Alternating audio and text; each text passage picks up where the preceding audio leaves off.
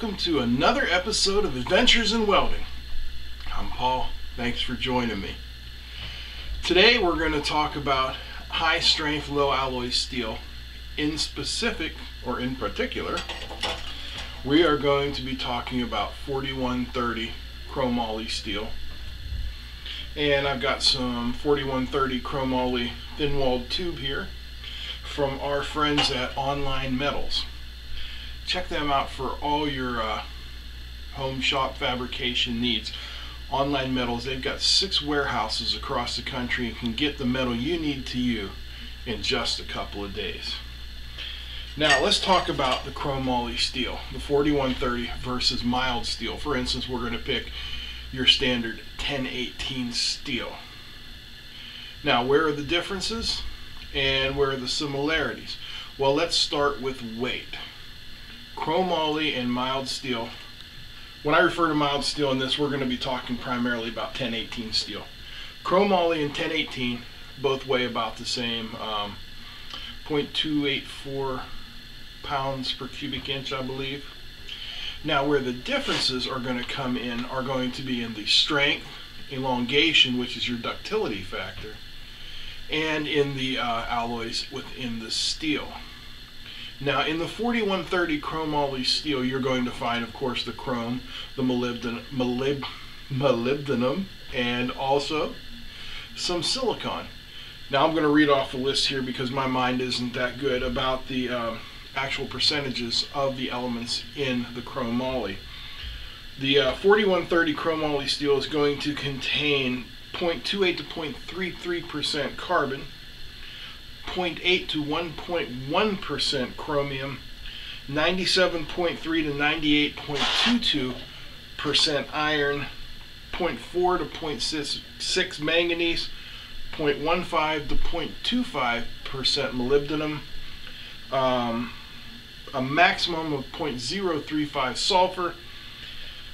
Uh, no, I'm sorry, that's phosphorus, a maximum of 0.04 sulfur, and 0.15 to 0.35 silicon.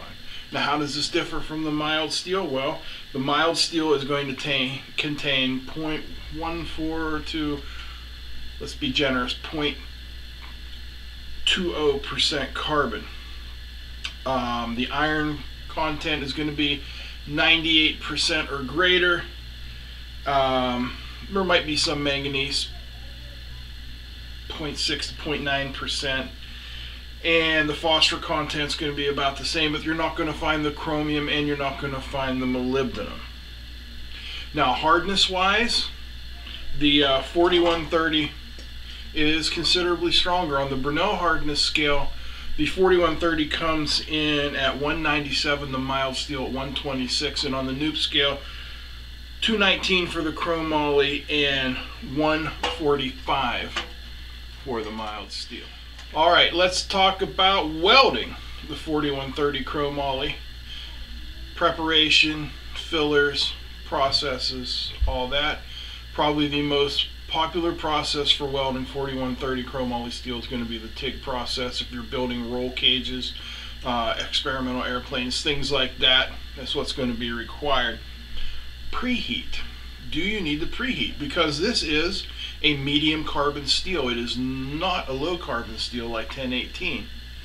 Well, if the thickness is greater than, I have to look this up, pardon me, 0.12%, or 0.12 thousand, 120 thousandths, yeah, then you're going to need to um, preheat.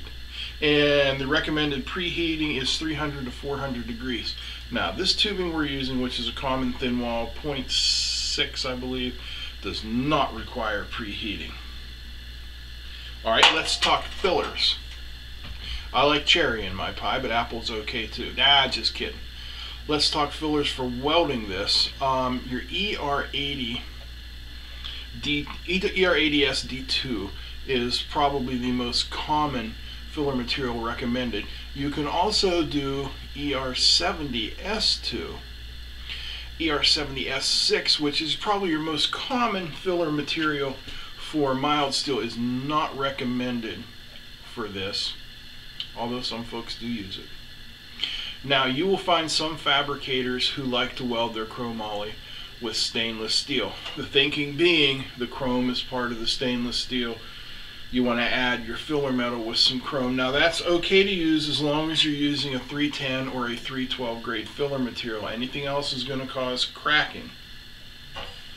Heat treating. Do you need to heat treat this after welding? For a thin wall tubing and such, no. Let it air cool. Absolutely positively no quenching. What about cleaning? Yeah, you've absolutely got to clean this. It comes with mill scale like anything else. You're going to want to clean a half inch to an inch away from the weld. Um, is it magnetic? Yes, it is magnetic. I mean, it's 98% iron. Of course it's magnetic. And should it be back purged? I don't know, should it? Let's put it this way. Back purging your 4130 welds with pure argon is certainly not going to hurt anything and it will make the insides look pretty. Is it going to add anything to the joint? Nah, it's not required. But if you want to do it, go right ahead. Next, we are going to prep these tubes Alright, I don't have a tubing notcher, so the first thing I like to do is just clean everything off real nice with a flap disc. About an inch back from the end that I'm going to cope. Get the scale off. Then using um, one of these templates that you can get online, just inputting diameters and wall thicknesses, you know, you cut that out, wrap it around your pipe, and you're good to go.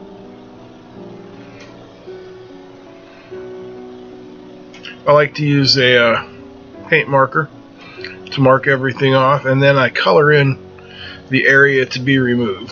Helps my old eyes figure out what they're doing.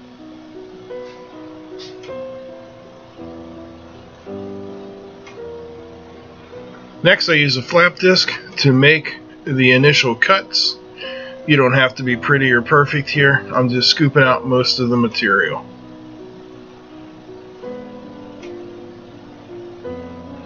Then get the grinder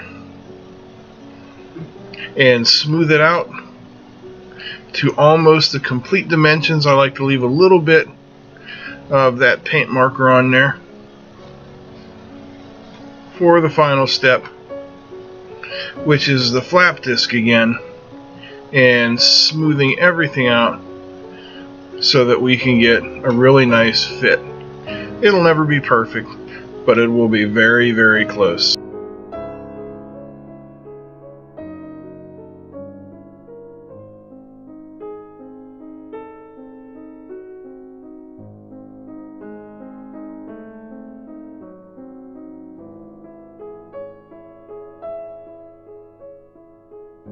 Is the order of the day when you're dealing with TIG welding, especially so with the chromoly. So a little bit of acetone to wipe down the work surface. It goes without saying you're going to wipe down your work pieces and also make sure you wipe down your filler.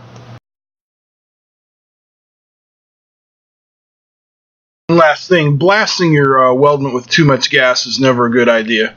So I always check my gas and set it first. I'm setting it for about 15 CFH here.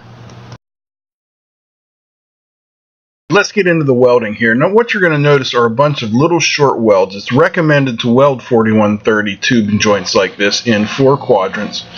So I'm welding one quadrant at a time and moving along and you'll notice I'm moving quite slowly. And the reason for that is you want to keep the heat in here as much as possible. You don't want to be shocking the metal in any way. Um, that extra carbon in there likes the extra heat. That's why there's not going to be absolutely any quenching. And it's kind of hard to see here, but what I'm doing is I'm actually uh, sort of pulsing the pedal. I'm kind of riding it up and down as I get to the thinner sections or places with a gap. I'm kind of easing off the pedal. And as I'm into the thicker sections of the metal, I'm pushing harder on the pedal to get more heat into that joint.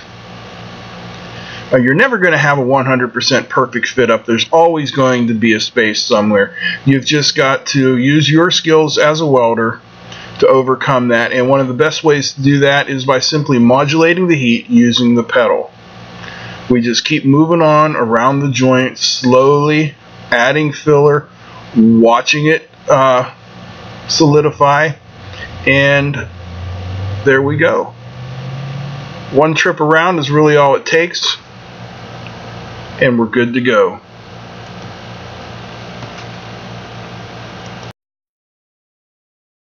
Alright, well there's the money shot as they like to say.